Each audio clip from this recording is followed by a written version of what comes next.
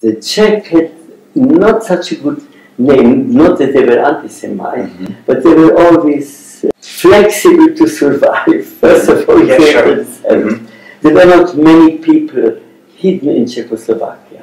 You know that in Germany there were more Jews uh, Yeah. hidden and in Poland too, but not in Czechoslovakia. This also shows about uh, uh, it's too dangerous.